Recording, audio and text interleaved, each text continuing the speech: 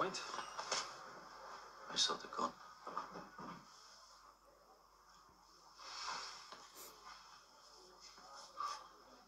It's not mine. Is this to do with what happened in Manchester?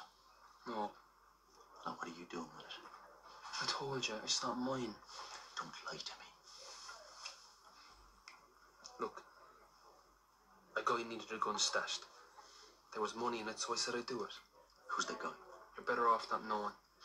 Why does he need a gun stashed? Hmm? Has he killed someone? No, How do you know that for sure? What if you get caught with it? I won't. What if it's been connected to some murder and your prints are on it? You could get blamed. Will you stop crying about murder? That's not what this is. Well, what then? A robbery?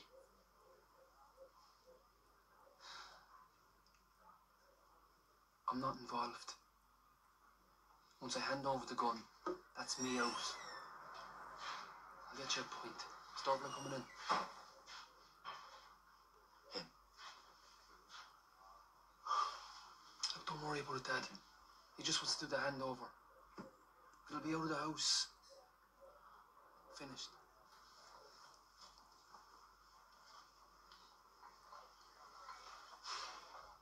I thought you were going to phone me.